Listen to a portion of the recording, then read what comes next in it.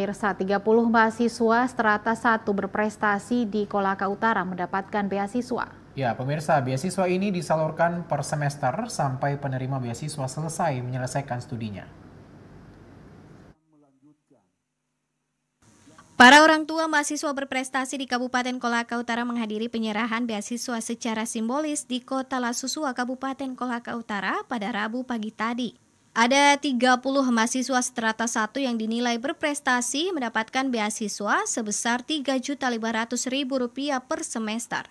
Beasiswa ini akan terus disalurkan sampai dengan mahasiswa penerima manfaat selesai menyelesaikan studinya.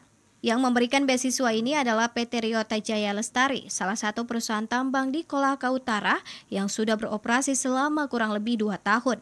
Awaludin selaku Public Relation PT Riota mengatakan, beasiswa ini bisa saja dicabut dan dialihkan ke penerima manfaat yang lainnya bila mana prestasi penerima beasiswa terus menurun. Sokongan dana dari dana program PPM ini kita memikirkan apa yang lebih ideal yang kita lakukan. Maka kami berembuk dengan manajemen saya pikir bahwa pilar pembangunan bangsa ini salah satu adalah membangun sumber daya manusia.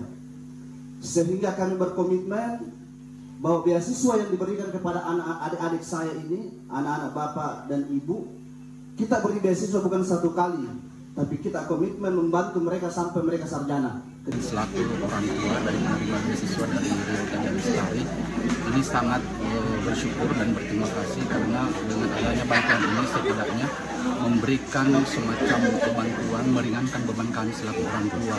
Jadi uh, alhamdulillah uh, saya selaku orang tua sangat berharap bahwa mudah-mudahan PT Delta ke depannya bukan hanya S1 akan tetapi pada saat anak-anak ini yang sudah menerima S2 apa S1 dan berniat untuk melanjutkan S2-nya mudah-mudahan Pak masih pihak TOT ini masih bisa memberikan bantuan untuk kelanjutan eh, anak-anak putra Olaka Utara ini. Pemberi beasiswa berharap agar dengan beasiswa ini bisa memacu semangat belajar mahasiswa untuk lebih berprestasi lagi di bidang akademik yang dijalaninya.